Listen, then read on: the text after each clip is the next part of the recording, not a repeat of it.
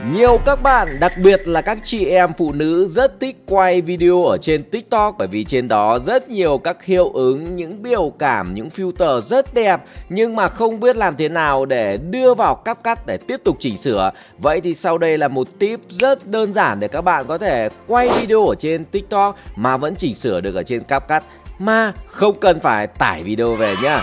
Làm theo nào? Rồi, và các bạn hãy vào kênh tiktok của mình và bấm vào dấu cộng quay video như bình thường. Rồi, mình sẽ bấm vào 3 phút và bấm quay. Cứ chia sẻ như bình thường và đây là mình đang làm một video mẫu. Rồi, và ok, coi như xong mà mình bấm vào dấu tích về Ok, rồi đấy, và tiếp theo các bạn bấm vào nút nhỏ nhỏ trên cùng này. Bấm vào để edit video. Và các bạn hãy bấm vào video cho mình. Bấm vào. Và bên dưới này các bạn bấm vào nút làm mờ chuyển động bấm vào. Rồi, chọn mở cáp cắt